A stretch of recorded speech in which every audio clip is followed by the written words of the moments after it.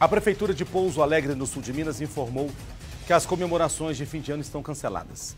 O show da virada, tradicional evento na Avenida Prefeito Tuane Toledo, e outras comemorações promovidas pela Prefeitura foram todos cancelados por causa das medidas e restrição e prevenção sanitárias do enfrentamento da Covid-19. Já os eventos particulares e de instituições privadas podem ser feitos, mas seguindo as normas sanitárias e de segurança, obedecendo os decretos publicados. A Prefeitura do município ainda orienta que as medidas são de extrema necessidade para controlar e prevenir a piora no quadro de saúde pública e evitar a disseminação do coronavírus.